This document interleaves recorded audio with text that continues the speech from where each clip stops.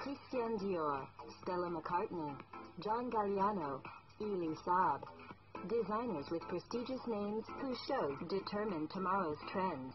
A dream shared by nine international designers who came to unveil their collections during the Autumn-Winter 2016-2017 Paris Fashion Week.